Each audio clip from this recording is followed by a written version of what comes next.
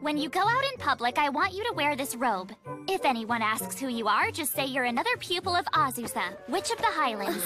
Oh, thank you, Master, for such a great disguise.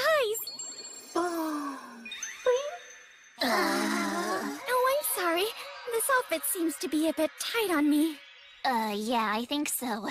Halkara, do you get a lot of comments on your chest? Not really. Maybe 750 a year? That's like two a day!